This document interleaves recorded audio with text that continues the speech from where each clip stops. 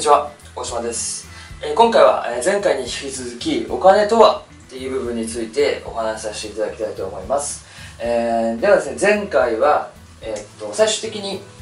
えー、っと危険、え、っと銀行に銀行と言われるですね前のところに、え、っと金を預けてその金を預かりましたという預かり書をもらうと。それによってその紙幣というものが生まれ始めるという部分についてお話ししました。なのでですねえ、っとまあそれを書きますとまあこんな感じですね。でまあ金がいっぱいあってこれを下ろす金を預かっている場所でこの預ける人が金を預けて金を預けてで紙幣をもらうと。でこれ自体は、え、っと金と取り替えられる。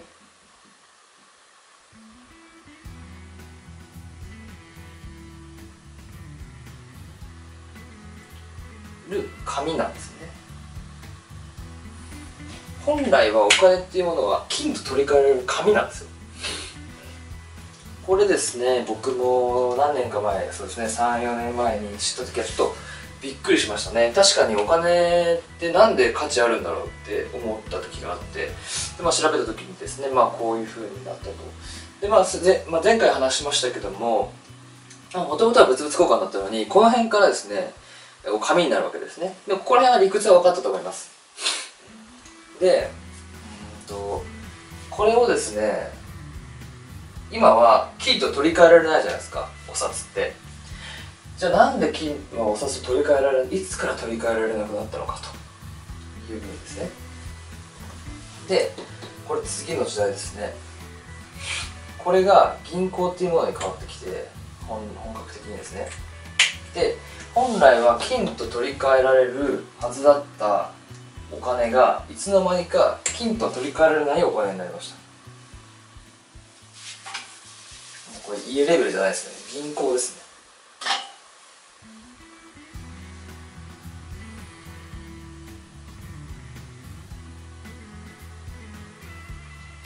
銀行です。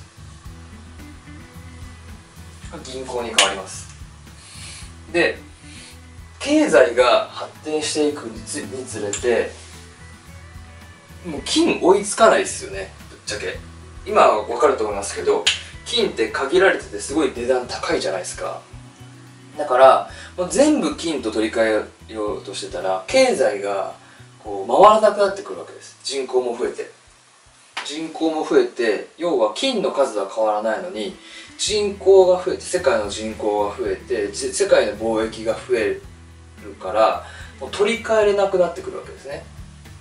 もう単純に金がちょっと金の数決まってますから。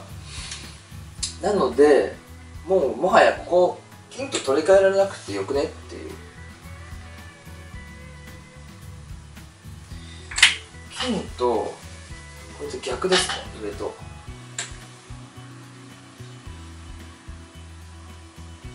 金と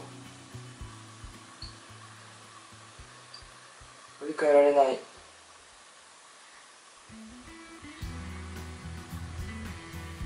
紙に変わり変えます。って、ね、変わりました。いつの間にか。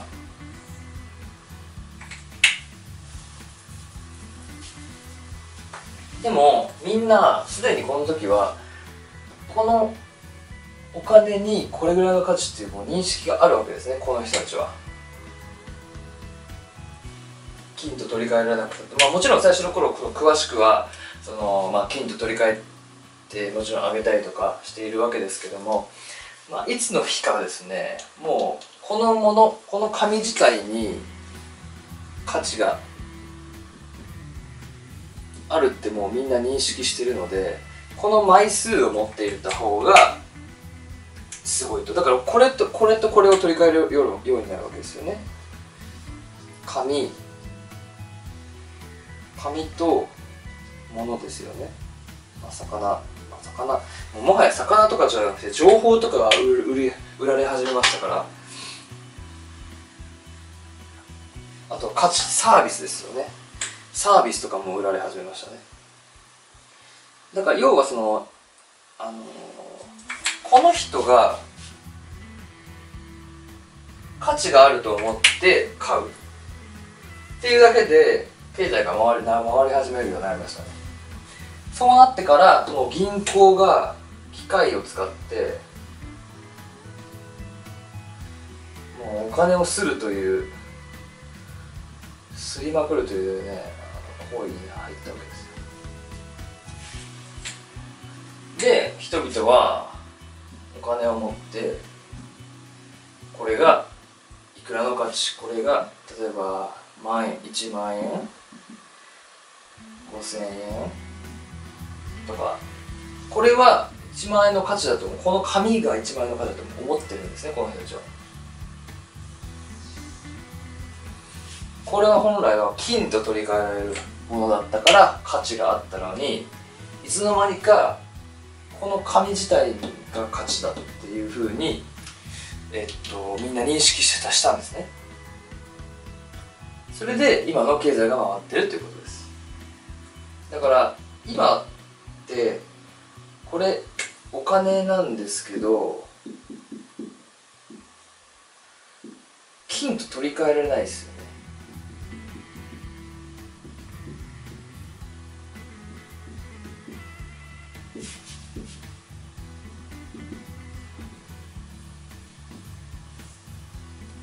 今のお金って金と取り替えられないんで本当は価値ないんですけど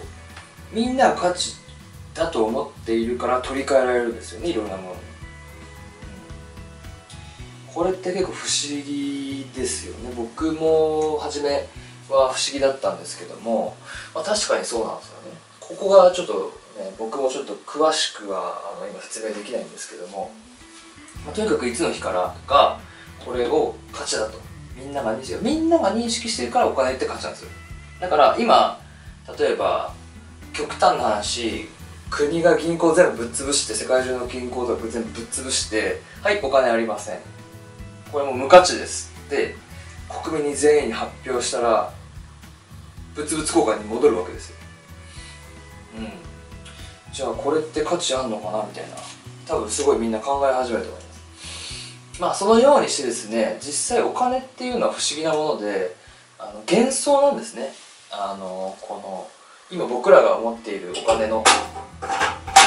金っていうのは幻想なわけです。そもそもこう価値がないけど価値だと認識してそれを交換庫してるわけですね、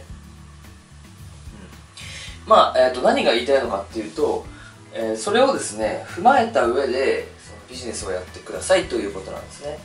まあ、なので本来はこれを、えっと、認識価値として認識して、まあ、交換しているっていうのはいいんですけども、まあ、それは回あのちょっと端っこに置いといて要は、えっと、今は金とは取り替えられない紙幣で取りかあ交換はしてますけども要はその価値を買ってもらう価値と価値の交換なわけですよビジネスっていうのは。だから僕が何かを僕は情報を提供するわけですよね。情報それに対してお金、まあ、お金ももはやもう情報みたいなものお金価値、みんなが認識しているその幻想みたいなものですね、まあ、どでもどっちにしろこれは物とも取り替えられるわけですから価値なわけです。なので、えっと、情報を提供してそれに見合う価値をこちら側が提供すればいいと。いう話です。だから価値のないものだったとしてもこれを支払えばそれは価値として見なされるということですね、まあ、ちょっと難しくなってしまったかもしれませんけども最終的には。要はお金っていうものはあ皆さんそのお金をねこのこのこのこの紙を皆さん大事にしてますけども大事なのはこの紙ということではなくてその価値をどれだけ人に提供できるかということだということを伝えしたかったっていう流れですね。はい。それでは、えー今回の動画は終わります。ありがとうございました。